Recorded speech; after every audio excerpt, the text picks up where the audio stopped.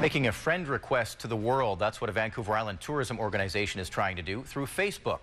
Fans of its page are being treated to exclusive offer offers. It's a way for Tourism Victoria to test social media as a marketing tool.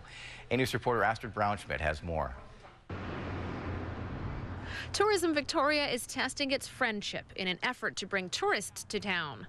The organization is hoping to turn Facebook fans into visitors with exclusive Facebook only incentives. Well, we're really testing our social media strategies. So we started off by trying to increase the number of fans that we had on our Facebook page, and we have about 3,000 now. But what we're really trying to do is convert them into visitors. The latest promotion Book one night in Victoria, and Tourism Victoria will pick up the ferry tap for the car and two people. Tourism Victoria says the promotion isn't just open to visitors, it's open to locals too. And people we spoke to today thought it was a pretty good idea. Sure, sounds good. The ferry prices are going up quite a bit. Mm-hmm. So, so you take advantage of that? I, I would.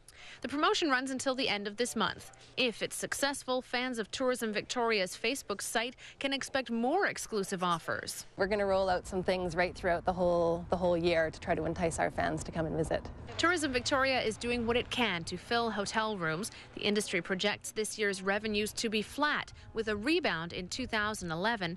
In the meantime, it's about keeping a buzz going and judging by the response so far to the this latest promotion. We've had a lot of phone calls and quite a few emails back and forth. Social networking might pass the tourism marketing test. For more information, visit tourismvictoria.com or find them on Facebook.